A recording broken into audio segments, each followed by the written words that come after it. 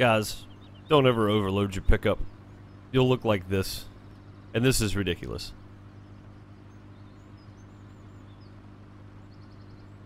I mean, this is just... Oh, hey, I'll just take one in the cab there. Uh, oh, we gotta get out and get that.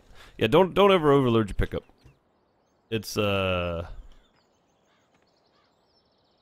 It's not helpful. Look at that. Look how stupid this looks. I don't think this truck's supposed to pull that trailer to begin with. But then when you get back in it, you gotta back up for like a hundred feet so you can get it going again. Come on. Cab, let's go forward. Set to cruise. Nope, that didn't work either. Back up some more.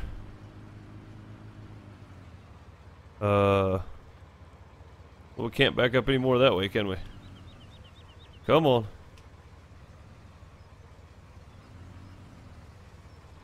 Oh, God. I'm in trouble.